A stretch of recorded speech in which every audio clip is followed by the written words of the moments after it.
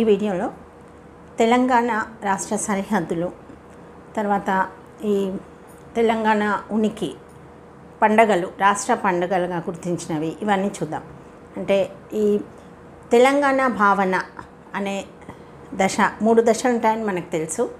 అయితే తెలంగాణ భావనలో మనము డిస్కస్ చేస్తున్నాం టాపిక్స్ టాపిక్ వైజ్గా. అయితే ఇప్పుడు ఏంటి అసలు తెలంగాణ భవన్లో? తెలంగాణ భౌగోళికంగా ఎలా ఆక్రమించింది సరిహద్దులు ఏంటి ఇవి చూద్దాం. తెలంగాణ మనందరికీ తెలుసు టూ థౌజండ్ ఫోర్టీన్ జూన్ సెకండ్కి ట్వంటీ నైన్త్ స్టేట్గా ఆవిర్భవించింది. తెలంగాణ ఎన్నో స్టేట్గా ఏర్పడింది అనేది ఇక్కడ ఇంపార్టెంట్. ట్వంటీ నైన్త్ స్టేట్గా ఏర్పడింది. తర్వాత తెలంగాణ భౌగోళికంగా ఎక్కడ ఎలా ఆక్రమించి ఉంది అంటే ఏ అక్షాంశాలు ఏ రేఖా అక్షాంశాలు రేఖాంశాలు అంటే మీకు తెలిసే ఉంటుంది. జాగ్రఫీలో వస్తుంది చదివే ఉంటారు. అయితే ఎలా ఆక్రమించింది అంటే fifteen degrees fifty five minutes nineteen degrees fifty six minutes ఉత్తర అక్షాంశాల మధ్య. తర్వాత తూర్పు రేఖాంశాలు ఏవి అంటే seventeen degrees fifteen sec minutes eighty degrees forty seven. అలా ఉత్తర అక్షాంశాలు తూర్పు రేఖాంశాల మధ్య తెలంగాణ ఆక్రమించి ఉంది. అయితే తెలంగాణ సరిహద్దులు చూద్దాం. సరిహద్దులు ఏంటి తెలంగాణ బైఫర్కేషన్ తర్వాత సరిహద్దులు ఏంటి అని చూస్తే చూడండి ఛత్తీస్గఢ్ మహారాష్ట్ర కర్ణాటక ఏపీ తెలంగాణ నాలుగు దిక్కుల సరిహద్దులుగా ఉన్నాయి. అయితే ఎక్కడున్నాయి? ఇవి ఎక్కడెక్కడ ఉన్నాయి ఎక్కడ వ్యాపించి ఉన్నాయంటే ఛత్తీస్గఢ్ చూస్తే ఉత్తర ఈశాన్యం తర్వాత మహారాష్ట్ర ఉత్తర వాయవ్యం పడమర కర్ణాటక తర్వాత తూర్పు దక్షిణ ప్రాంతంలో ఆంధ్రప్రదేశ్. అంటే ఒకసారి మీరు చూడండి ఇలా చూడండి. North south east west. ఉత్తర దక్షిణ తూర్పు పడమర. అయితే ఇది నార్త్ ఈస్ట్ ఇది నార్త్ వెస్ట్. అంటే ఉత్తర ఈశాన్యం నార్త్ ఈస్ట్. ఉత్తర వాయవ్యం ఇది. అంటే ఇప్పుడు ఉత్తర ఈశాన్యంలో ఏది ఆక్రమించింది? ఛత్తీస్గఢ్ ఆక్రమించి ఉంది ఇక్కడ. తర్వాత ఉత్తర వాయవ్యం నార్త్ వెస్ట్లో మహారాష్ట్ర ఆక్రమించబడి ఉంది. తర్వాత పడమర కర్ణాటక తర్వాత ఈస్ట్ ఇప్పుడు చూడండి సౌత్ ఈస్ట్ అంటే తూర్పు దక్షిణ భాగంలో ఆంధ్రప్రదేశ్ ఆక్రమించబడింది ఒకసారి మ్యాప్లో మీరు కూడా చూసుకోండి. చూడండి ఇక్కడ మ్యాప్ చూడండి. ఇది తెలంగాణ ఈ వాయిలెట్ తర్వాత ఈ తెలంగాణలో చూడండి ఛత్తీస్గఢ్ ఇక్కడ ఉంది. ఛత్తీస్గఢ్ ఎక్కడని చెప్పుకున్నాం. ఉత్తర ఈశాన్యం అంటే నార్త్ ఈస్ట్ సైడ్ ఇక్కడ ఛత్తీస్గఢ్ ఉంది. తర్వాత నార్త్ నార్త్ వెస్ట్ అంటే ఉత్తర వాయువ్య ప్రాంతంలో ఇది మహారాష్ట్ర ఉంది. తర్వాత పడమర కర్ణాటక ఉంది. ఇక్కడ తూర్పు దక్షిణ ప్రాంతం అంతా ఏపీ ఆక్రమించబడి ఉంది. మ్యాప్లో చూడండి ఇంకా బాగా తెలుస్తుంది. ఇవి తెలంగాణ సరిహద్దులు. తర్వాత రాష్ట్ర పండుగలు ఏవో చూద్దాం. తెలంగాణలో భిన్న సంస్కృతుల వాళ్ళు ఉంటారు. అన్ని రకాల మతాలు కులాలు ఉంటారు. అయితే మనకు హిందూస్ పండగలు దీపావళి దసరా సంక్రాంతి మహాశివరాత్రి ఇలా ఎన్నో ఉన్నాయి. తర్వాత రంజాన్ మిలాదుద్ నబీ ఇవన్నీ కూడా క్రిస్మస్ ఇవన్నీ గుడ్ ఫ్రైడే ఇవన్నీ అన్ని రకాల ప్రజలు ఉన్నారు కాబట్టి అన్ని రకాల పండుగలు జరుపుకుంటారు. అయితే రాష్ట్ర పండుగలుగా ఏవి గుర్తించబడ్డాయి అనేది ఇక్కడ ఇంపార్టెంట్.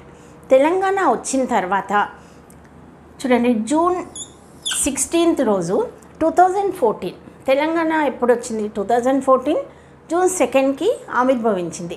అయితే రాష్ట్ర పండుగలుగా రెండు పండుగలను గుర్తించారు గవర్నమెంట్. జూన్ సిక్స్టీన్త్కి ఏవి అంటే బతుకమ్మ పండుగ బోనాల పండుగ. ఈ రెండు రాష్ట్ర పండుగలుగా గుర్తించారు. అయితే ఇవి తెలంగాణలో చాలా ఫేమస్ పండుగలు. ఈ బతుకమ్మ పండుగ అయితే ముఖ్యంగా వరంగల్ కరీంనగర్ నల్గొండ అక్కడ ఎక్కువగా చేస్తారు.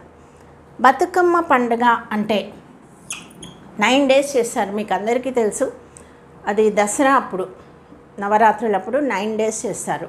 అన్ని పూలతో బతుకమ్మ అని పేరుస్తారు. అంటే రకరకాల పూలు బంతి చామంతి గునుగు గడ్డి పూలు తంగేడు. అంటే తంగేడు పువ్వు మనకు తెలుసు ప్రీవియస్ వీడియోలో చెప్పుకున్నాం. తెలంగాణ రాష్ట్ర పుష్పం అది.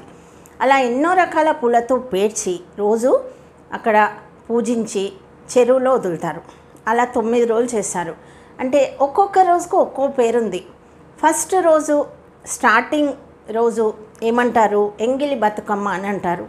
తర్వాత ఒక్కో రోజు ఒక్కో పేరుంది బతుకమ్మకు. లాస్ట్ రోజు నైన్త్ డే సద్దుల బతుకమ్మ అని అంటారు.